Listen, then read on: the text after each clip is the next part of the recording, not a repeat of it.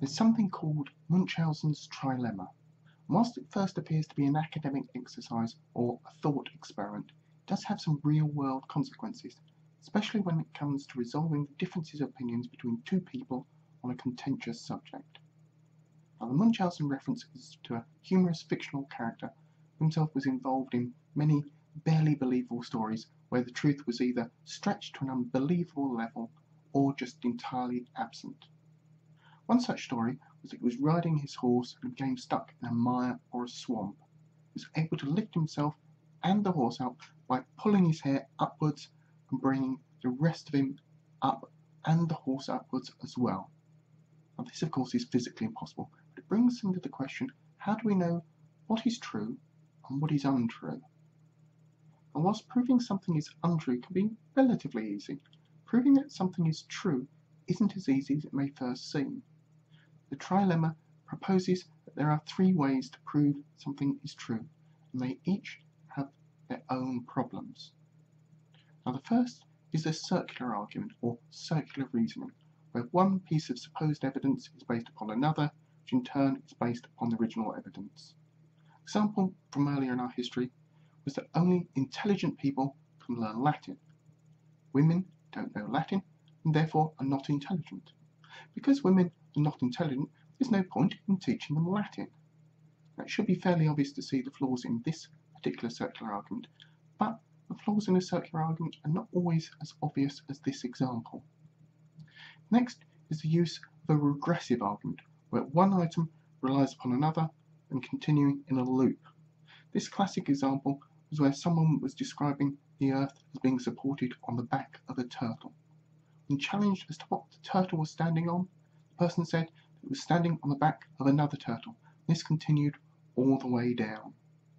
The third method of argument is what's known as an axiomatic argument. Here is where it starts to get interesting. Here the proof of the argument relies generally upon a more basic idea or reasoning. So, say seeking the truth out behind what causes earthquakes could lead you to saying the result of continental drift. Okay, and what causes continental drift?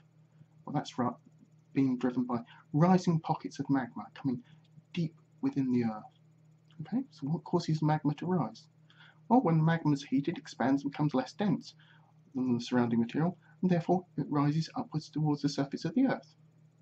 Okay, what causes the magma to become heated? And so the questions go on and on and on. Each explanation relies upon another explanation.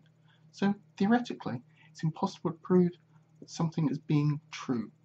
So you, to do this, you have to prove each supporting layer of the subject in question is also true that it's resting upon.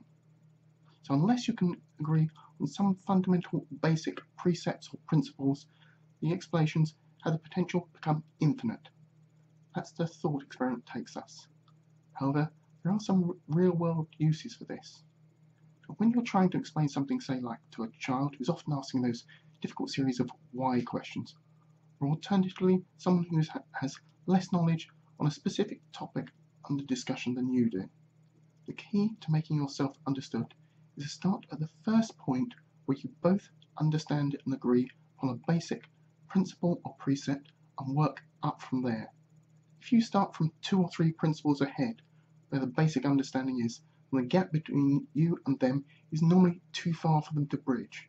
This is especially so when the subject under discussion is contentious or one where you disagree about its implications. You can, can't explain the stages you go through from your mutual point of agreement till you get to your final point of disagreement, then you have no hope of persuading the person of the validity of your argument. And that's where Munchausen's trilemma is actually practically applicable.